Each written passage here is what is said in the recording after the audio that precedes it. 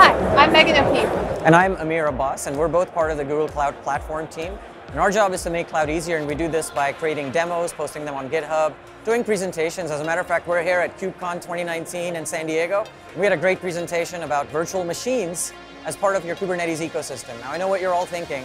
What are we talking about virtual machines at a KubeCon? The harsh reality is that most customers we talk to all have virtual machines running in their environment. These could be databases, legacy stateful applications. Even if they're migrating their applications over to Kubernetes, they need a way to talk to these applications. And for that, we're using Istio, which is a service mesh technology that Megan is going to talk a little bit more about. Yeah, absolutely. So the way to incorporate a virtual machine into an Istio service mesh running on Kubernetes is really easy. All you have to do is install the Istio sidecar proxy and the Istio node agent on the virtual machine and then configure it to call home to Istio running on the cluster.